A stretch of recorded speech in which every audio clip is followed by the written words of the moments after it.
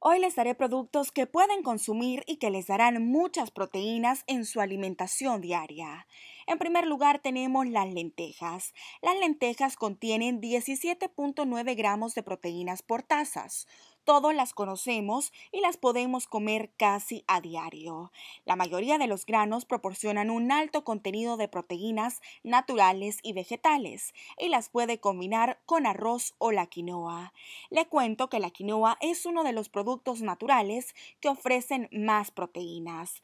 La quinoa es súper nutritiva. Usted la puede utilizar como un acompañante para los alimentos como los vegetales y también funciona como un arroz, como un acompañante. Y es que sin embargo también lo puede comer solo y se puede usar con los frijoles y con otros granos para proporcionar más proteínas.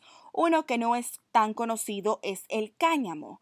Tres cucharadas de la semilla de cáñamo contienen 16 gramos de proteínas. Esto se puede comer en cereales, agregar en los batidos, se puede poner sobre las ensaladas. Y finalmente está una alga que se llama espirulina, que contiene 6 gramos de proteínas en tan solo 10 gramos de este producto.